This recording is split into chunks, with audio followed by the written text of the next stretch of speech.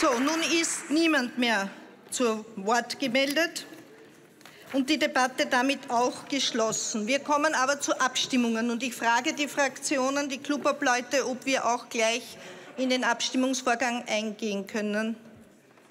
Ja, gut, dann gehen wir auch so vor. Äh, wir gelangen zur Abstimmung über den Entschließungsantrag der Abgeordneten Heuer-Strautmannsdorf, Kolleginnen und Kollegen, betreffend Erweiterung des Untersuchungsmandats der Ischgl-Kommission. Ich ersuche jene Damen und Herren, die sich diesem Entschließungsantrag anschließen, um ein Zeichen der Zustimmung. Das ist die Minderheit abgelehnt.